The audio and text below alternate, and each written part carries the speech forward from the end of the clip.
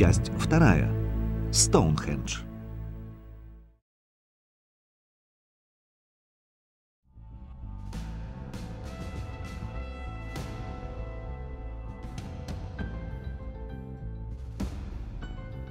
Стоунхендж, пожалуй, одно из самых известных мегалитических сооружений в мире.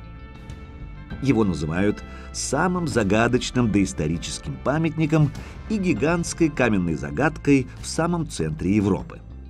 Давайте разберемся, что же в нем есть загадочного, оставив в стороне распространенные заблуждения. Официальные данные таковы. Стоунхендж представляет собой установленные вертикально камни, образующие концентрические окружности. Считается, что вокруг находится множество захоронений неолита и бронзового века. Археологи верят, что комплекс был сооружен где-то от 3000 до 2000 годов до нашей эры. Первые исследователи этого мегалитического комплекса имели весьма сомнительную биографию. Историю исследования камней прежде всего связывают с масоном Уильямом Стьюкли, чьи даты активной жизни совпадают с началом захвата власти в Англии голландской династии Аранских, представляющих интересы ростовщиков пресловутого Банка Амстердама. Именно по его подобию в 1696 году был создан частный банк Англии. В работе самое активное участие принимал Исаак Ньютон, назначенный в 1696 году смотрителем, а в 1699 году директором Королевского монетного двора. Его широко разрекламированные открытия в физике были побочным эффектом его занятий алхимией и каббалистикой. Другим важным занятием Ньютона стало вычисление даты конца света по иудейским текстам – где он с талмудической настойчивостью выискивал тайные коды. Упомянутый нами первый исследователь Стоунхенджа Уильям Стьюкли стал первым официальным биографом алхимика и каббалиста Ньютона, скрывшим многие факты его биографии, в том числе создание первой финансовой пирамиды Банка Англии. Именно масон Стьюкли стал называть себя архидруидом. Одним из основных источников информации по комплексу мегалитов Стоунхендж является сайт English Heritage – английское наследие. Это полугосударственная организация, в управление которой в 1983-84 годах был передан объект Стоунхендж его настоящим собственником британской королевской семьей. Среди основных загадок Стоунхенджа называют следующие – для чего был предназначен этот мегалитический комплекс. Кто, когда и как его построил. Как удалось доставить глыбы весом в десятки тонн из каменоломен. И, наконец, как удалось так точно сориентировать постройку. Попробуем дать ответы на все эти вопросы, начиная с последнего, опираясь на исторические факты. Мегалиты Стоунхенджа точно ориентированы по звездному небу и указывают на такие астрономически значимые точки, как восход и заход Солнца в дни летнего и зимнего солнцестояния. Для расположения камней таким образом необходимо обладать современными астрономическими знаниями. Загадка, собственно, в том, откуда у строителей Стоунхенджа были такие познания. Обратимся к недавним историческим фактам. Доктор Кристофер Чиппендейл, археолог, автор ряда публикаций о Стоунхендже, лектор археологии Кембриджского университета, старший куратор в Музее археологии и антропологии, утверждает, что немного из того, что мы видим в Стоунхендже, осталось так или иначе нетронутым.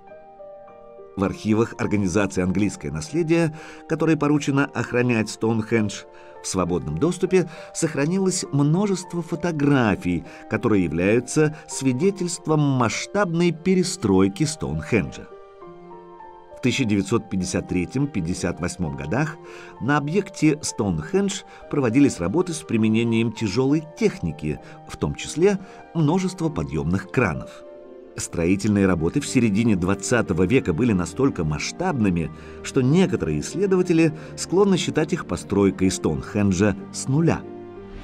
Однако Более вероятной выглядит версия, согласно которой примерно 60 лет назад производилась точная расстановка и ориентировка по звездному небу привезенных несколько десятилетий ранее и поставленных на скорую руку мегалитов, чтобы придать сооружению вид древней обсерватории.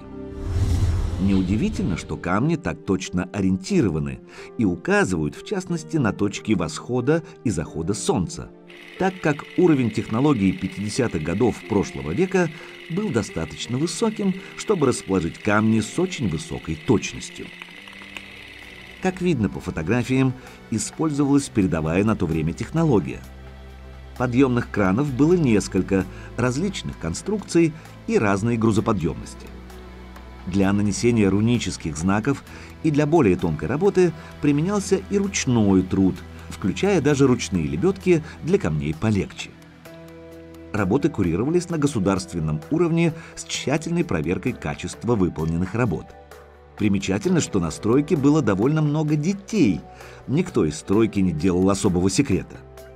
Как вы увидите позднее, Вся территория вокруг Стоунхенджа тщательно контролировалась, так что случайных людей на этих фотографиях нет. Некоторые мегалиты подвозились к Стоунхенджу на автомобильных платформах с высокой грузоподъемностью, которые передвигались по настилу из шпал, выложенных елочкой, чтобы не повредить газон. Камни устанавливались с высокой точностью в заранее подготовленные лунки. При установке Точность расположения выверялась строительными инженерами с помощью геодезических инструментов. С какими планами сверялись специалисты при расстановке мегалитов, неизвестно, так как нигде в публичном доступе не сохранилась строительная документация или даже упоминание о существовании каких-либо планов. На многих фотографиях хорошо заметны полосатые палки – это геодезические рейки для нивелировки и точной установки камней. Геодезические рейки используются вместе с нивелирами, которые также часто присутствуют на фотографиях масштабной реконструкции Стоунхенджа. Иногда использовались и простые рулетки, ручные оптические приборы, линейки. Простой глазомер инженеров-строителей тщательно перепроверялся с помощью приборов. Точно установленные камни фиксировались на своем месте с помощью современного бетона. На фотографии хорошо видно название, сохранившееся до наших дней фирмы Premix, поставлявшей бетон для Стоунхенджа. Некоторые строительные работы, как, к примеру, вот эта заплатка на мегалите, были сделаны нарочито грубые на показ. По-видимому, это было необходимо, чтобы как-то объяснить использование современного бетона. Очевидно, что мегалит не мог стоять в таком положении вертикально до установки заплатки, поэтому о его настоящем расположении ничего определенного сказать невозможно. Справедливости ради стоит отметить, что первые, по всей видимости, не вполне удачные попытки точного расположения камней под видом реконструкции Стоунхенджа были произведены еще в начале 20 века. Зато реконструкция после окончания Второй мировой войны явила миру мегалитический комплекс, идеально ориентированный по звездному небу.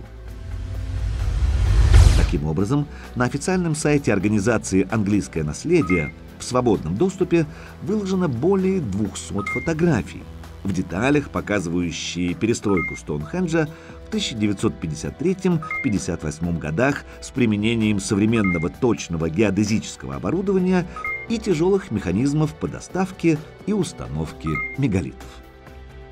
На данный момент не сохранилось никаких надежных документальных материалов о действительном расположении мегалитов в древности. Исторические схемы не вызывают большого доверия и больше выглядят как зарисовки или даже наброски для будущего строительства, включая самую первую схему Стоунхенджа руки Уильяма Стьюкли, включенную в его книгу и официально датируемую 1740 годом.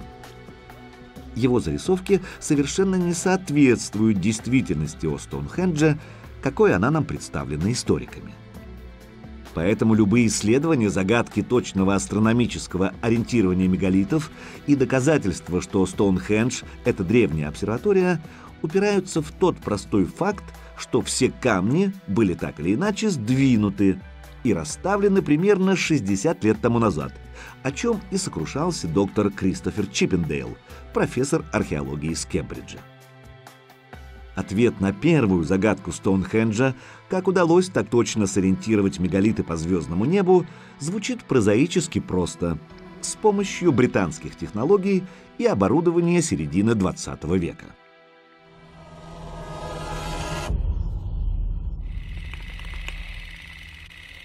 Перейдем ко второй загадке. Небольшая справка. Стоунхендж в основном состоит из огромных природных песчаных валунов-мегалитов, называемых сарсены, весом от 7 до 50 тонн. Второй разновидностью мегалитов Стоунхенджа являются отдельно стоящие так называемые «голубые камни» весом до 5 тонн.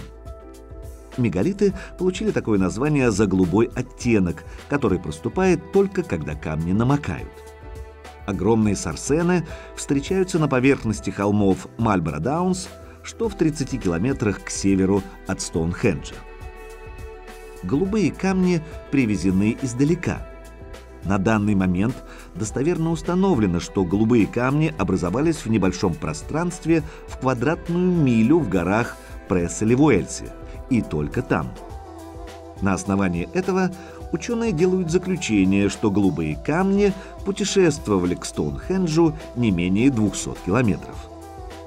Вторая загадка, собственно, как эти многотонные мегалиты доставлялись на расстояние в десятки и сотни километров к Стоунхенджу. Ответ, по-видимому, кроется в военной специализированной инфраструктуре двойного назначения, которая была развернута непосредственно вокруг Стоунхенджа и частично сохранилась до сих пор. Снова обратимся к фактам примерно столетней давности. Военные ангары Стоунхенджа Существование военного аэродрома и громадных ангаров на территории Стоунхенджа – факт малоизвестный. Приведем в качестве иллюстрации комментарий с одного из британских форумов. Несколько лет назад я присутствовал на одной из общественных встреч по обсуждению строительства автомобильного туннеля рядом со Стоунхенджем. Одним из возражений противников превращения дороги А-303 в скоростную автостраду была угроза разрушения археологии меня удостоили достаточно странными взглядами, когда я указал присутствующим на то, что археология, о которой они беспокоятся, была уже давно разрушена аэродромными постройками. Факт о том, что на территории Стоунхенджа когда-то располагался аэродром, был новостью для большинства собравшихся, включая некоторых больших шишек из английского наследия. Обратимся к авторитетному источнику – отчету по археологическому исследованию территории вокруг Стоунхенджа, опубликованному на сайте «Английское наследие». Перед вами карта из официального документа, которая показывает окрестности Стоунхенджа по состоянию примерно на начало 20 века. На карте светло-голубым обозначены аэродромы. Ларкхилл справа вверху и Стоунхендж слева внизу. Круг мегалитов Стоунхенджа непосредственно примыкает к территории аэродрома. История этих военных аэродромов достаточно обширна и заслуживает отдельного повествования. Чтобы не отклоняться от основной темы, заметим только, что аэродром Ларкхилл был первым военным аэродромом в Британии. Собственно, нам интересны не сами аэродромы, хотя выбор их расположения выглядит достаточно странным, а ангары, построенные в непосредственной близости от Стоунхенджа, и железная дорога, проложенная к этим ангарам.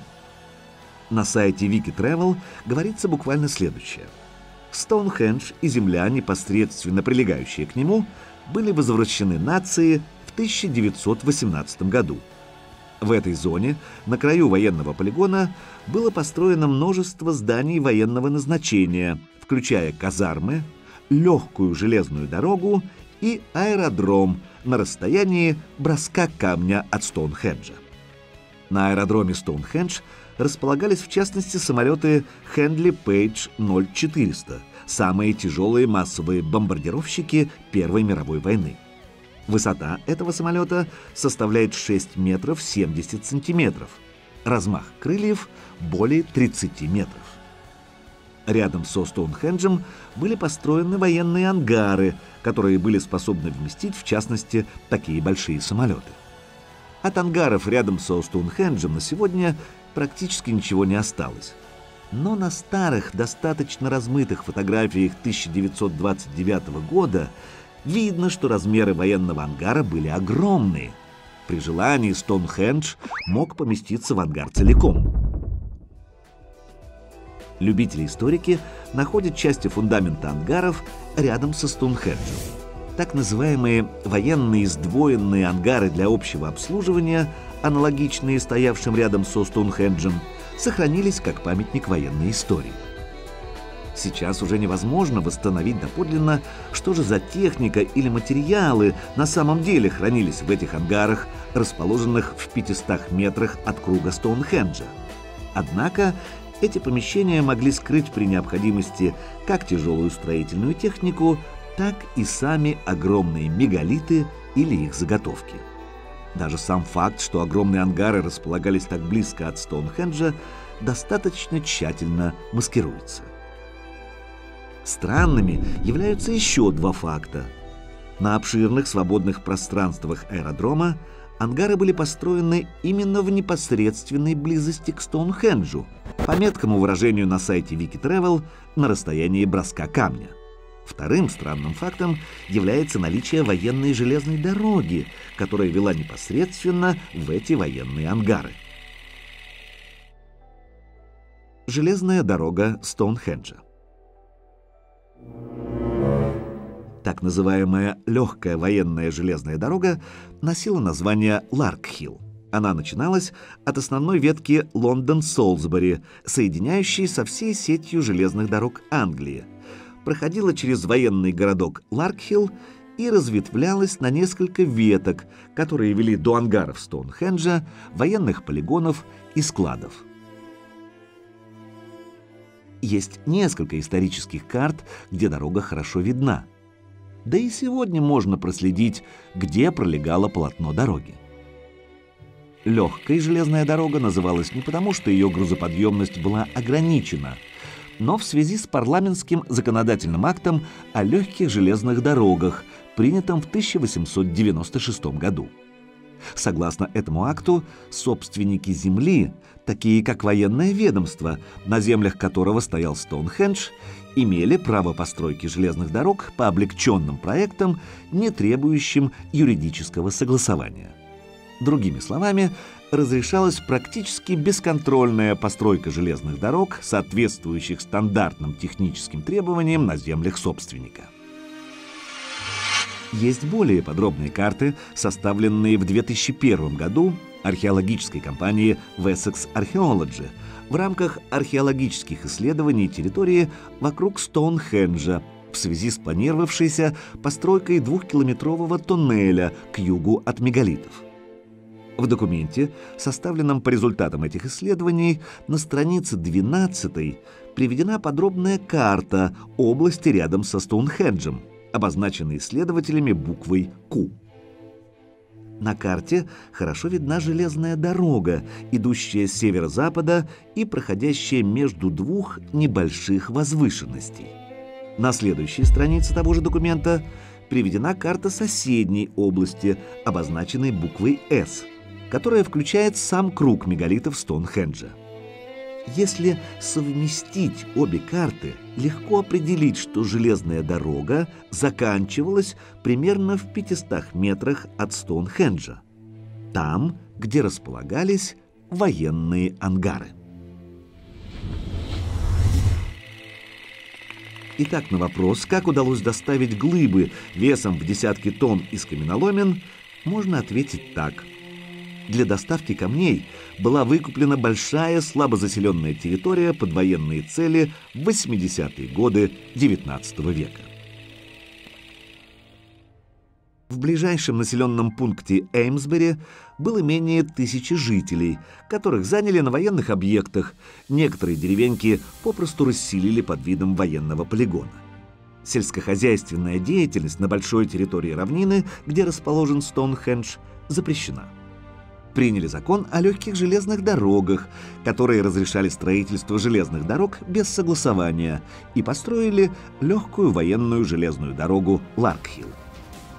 На картах из официальных источников дорога заканчивалась авиационными ангарами, расположенными в 450 метрах от круга Стоунхенджа, как пишет Вики Travel, на расстоянии броска камня. Доставку камней осуществляют с помощью железнодорожного крана платформы и устанавливают примерно на своих теперешних местах под видом развалин в ходе первой реконструкции 1901 года. Железнодорожную кран-платформу можно увидеть и сейчас. В трех километрах к северу от Стоунхенджа, на территории Королевской школы артиллерии, в военном городке Ларкхилл, стоит 18-дюймовая гаубица на специальном железнодорожном лафете с подъемным механизмом на 110 тонн.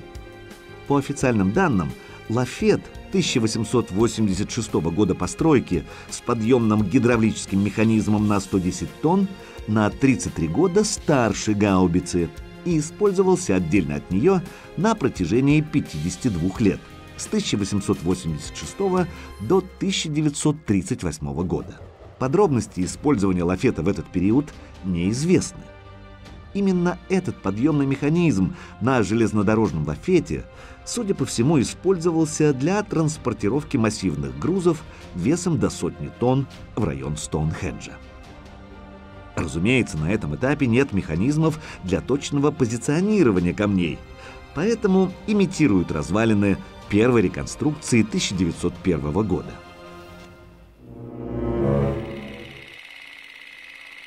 Итак, у нас осталось два основных вопроса. Для чего был предназначен мегалитический комплекс и кто его построил? Наиболее обоснованной выглядит версия, согласно которой создание Стоунхенджа было запланировано королевской семьей как минимум в начале XIX века, вероятно, с целью состарить свой род и историю Англии.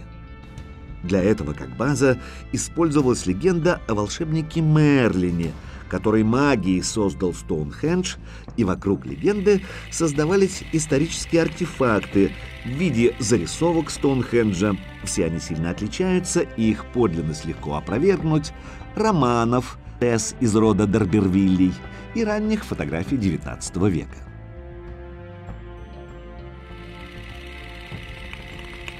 Люди, участвовавшие в создании артефактов, получали высокие отличия от королевской семьи. Примеру, Томас Харди, автор вышеупомянутого романа, из безвестного сына каменотеса и неграмотной матери стал кавалером Ордена Заслуг, учрежденного королем Англии. Автор серии самых ранних фотографий, сэр Генри Джеймс, офицер армии Его Величества, получил звание сэра от королевской семьи за создание технологии фотоцинкографии, своеобразного черно-белого фотошопа XIX века. Производство артефактов продолжается и в наши дни. В 2006 году в СМИ прошла новость о том, что найден самый ранний рисунок Стоунхенджа в манускрипте «Скала Мунди» 1440 года. Вот цитата из этой статьи. Маленький рисунок показывает трилитоны, самые большие камни монумента, каждый состоящий из двух колонн, покрытых сверху третьим камнем, стоящих в кругу в виде подковы. В хронике мира говорится о том, что Мерлин воздвиг Стоунхендж между 480 и 486 годами. Латинский текст говорит, что он не при помощи силы, но при помощи искусства принес и воздвиг кольцо гигантов из Ирландии. Возможно, некое сооружение на этом месте было, и, может быть, оно, помимо прочего, было привязано к зимнему и летнему солнцестоянию. Но всю сверхточную ориентацию в пространстве и миф о древнем компьютере этих камней создавали современные люди. В предыдущих фильмах из цикла «Великая Тартария. Только факты» мы рассматривали, как переписывалась вся европейская история в XVIII веке. Цель была проста – стереть все воспоминания об империи, о том, что она простиралась почти на весь мир, от Великой Китайской стены и Камчатки на востоке до Средиземного моря на западе, включая также весь северо-запад Северной Америки, что хорошо видно по старым картам.